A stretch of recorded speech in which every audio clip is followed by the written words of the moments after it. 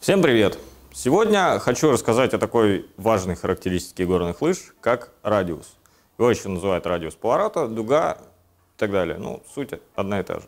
На сегодняшний день на рынке существует э, большое количество лыж э, для лыжников с различным уровнем подготовки. Лыжи имеют различные характеристики и предназначены для различных условий катания. Многие при подборе горных лыж ставят обязательные условия, чтобы лыжи были карвинговые. Хочу сразу заметить, что 99,9% лыж, представленных на рынке на сегодняшний день, являются карвинговыми. Сам термин карвинг произошел от английского to carve – подрезать, вырезать.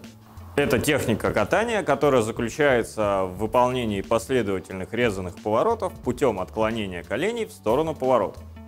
Карвинг предполагает равномерную загрузку обеих э, лыж, э, в отличие от классической техники, где опора приходится на внешнюю лыжу.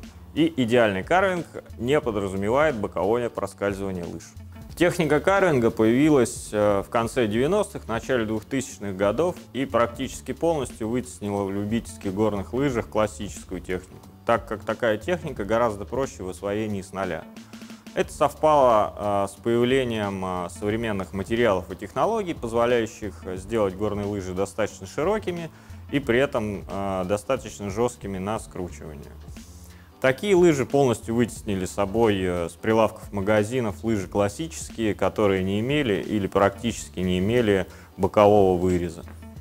Карвинговая техника предъявляет определенные требования к оборудованию, а именно лыжи должны иметь э, разницу в ширине носа, талии и пятки.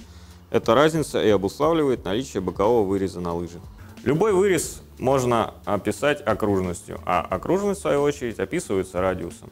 А поскольку все современные лыжи имеют разницу в ширине носа, талии и пятки, то логично заявить, что они все являются каринговыми. Различаться лыжи будут как раз-таки по величине этого самого радиуса. Условно принято считать э, радиус от 10 до 14 метров маленьким, от 14 до 18 средним и более 18 большим. Но это, подчеркиваю, условно. И последний очень важный момент относительно радиуса горных лыж. Цифра, указывающая на то, какой у лыж радиус, не означает, что лыжа будет поворачивать именно по этому радиусу и не больше и не меньше. Это лишь ориентир для того, чтобы понимать, насколько комфортно будет кататься на лыжах той или иной модели там, по большим, малым или средним дугам. Всем спасибо за просмотр. Пишите вопросы в комментариях, подписывайтесь на наш канал, приходите к нам в магазин.